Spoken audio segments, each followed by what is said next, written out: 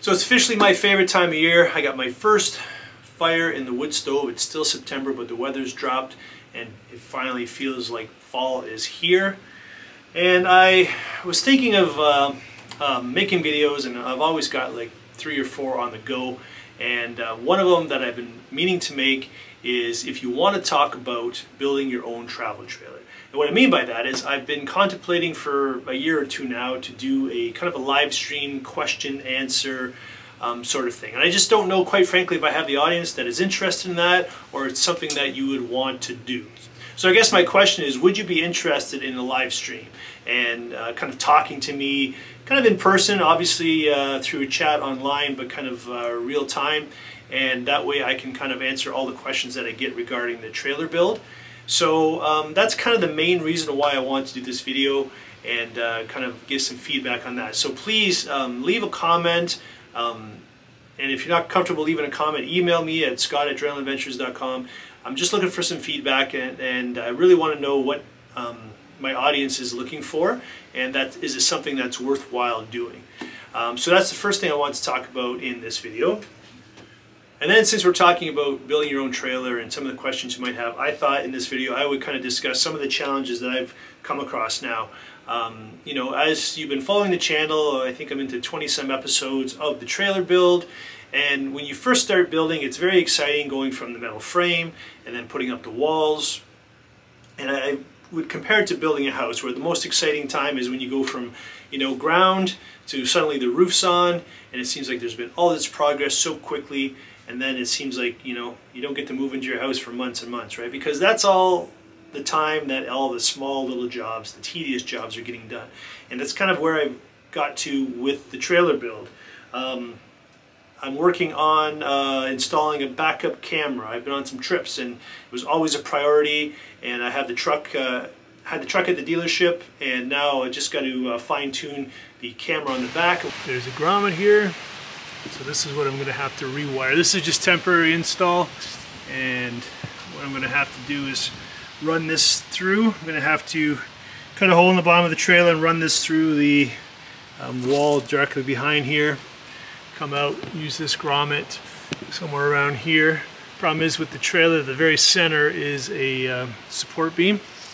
So that is something that's got to get done before I can finish the inside wall.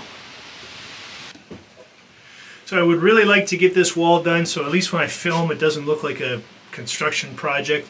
There shouldn't be any more wiring that needs to get done on the very back wall except for the rear view camera which is basically going in there. So um, my plan is to hopefully get that installed and I can start to actually um, complete the walls and at least you can see what my plan is for the interior of the trailer.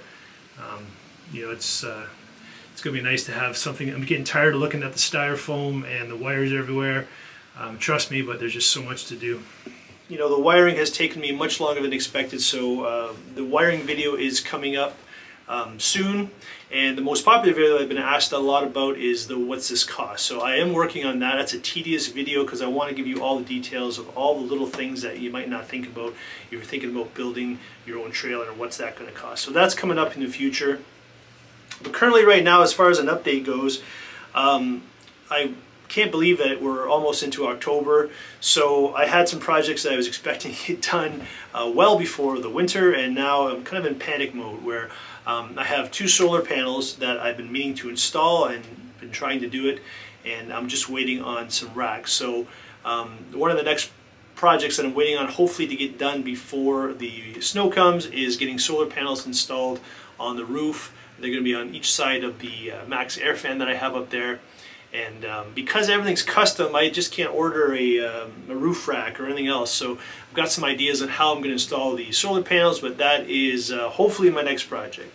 Um, if you watch the other video on how not to build a travel trailer, um, I have some issues that I'm sorting out right now underneath. So um, I'm currently uh, kind of taking the rust off the frame and going to be recoating that. So my plan is to get these spaces underneath the floor uh, between the 2x2 uh, metal framing I want to get those filled in with uh, spray foam, so I'm looking at that before the winter time. Um, the floor definitely gets cold. So some spray foam insulation I think would uh, would solve that problem and I believe it would be durable to kind of hold up to the, uh, the highway traffic. And I think once I get the um, frame kind of recoated, I believe the spray foam should probably be another uh, protection to the, the frame as well. So that's got to get done. And again, um, I'm hoping to get uh, a axle, custom axle made and swap it out. I took Eddie to um, a weigh scale um, on my way to the dealership the other day, and he's certainly uh, about that 3,500 pounds, you know, empty. Having said that, empty with the the new batteries in there and the kitchen and all that stuff. But no, not like I've loaded up in the past where I kind of just use this as storage on a trip and throw stuff in here. Um, so I, I'm quite confident that I'm reaching the 3,500 pound uh, threshold of the axle that I have on there. So that's a priority. I need to get that done. Um, so um, I've been, you know, kind of researching that and talking to companies and hoping to get that done soon. Because in February I've been married to my wife for 25 years, and we're going to celebrate that out in Utah. So my lovely wife is going to fly out there, and I am driving Eddie all the way from Southern Ontario to Utah, through all the uh, wonderful states down there, through Colorado, into Utah. We're going to explore down there and live out of Eddie uh, while we're there. So I was hoping to get as much done as possible and make it as comfortable as I can for a romantic 25 year anniversary. And at this rate, it's not looking uh, like a very posh um, accommodation, but luckily for me, my wife's uh, pretty low maintenance, so um, it's being together, it's the adventure that really matters. So uh, we're really looking forward to that. But I do wanted to get this done, and I really wanted to get the shower done. But I am not thinking that's going to happen either. So I guess the moral of this video, the moral of the story is that uh, it's going to take a long time to build your own travel trailer. And I am retired and working at this full time. This is my full-time job uh, in addition to being a, a, dad and raising a family and, uh, and doing all that great stuff. But uh, the kids are getting older, so I do have a lot of freedom to, to work on it, and my wife's working, so um, I got no excuses. I got some free time, but man, life's busy and it is really hard to get things done. So if you're thinking of building your own travel trailer, you've got to factor that in. It's going to be a long time. I've been at it for a year and a half now, and the interior of my trailer still looks like this, and I am dying to get it done and I still can't seem to uh, get the progress that I was hoping for. Because progress is slow when you're working in the shower. Uh, probably a big echo here, but there's a Maxxair fan that needs to go in here. I recently installed one above the bed in the back of the trailer. I'll show you a quick clip of that right now.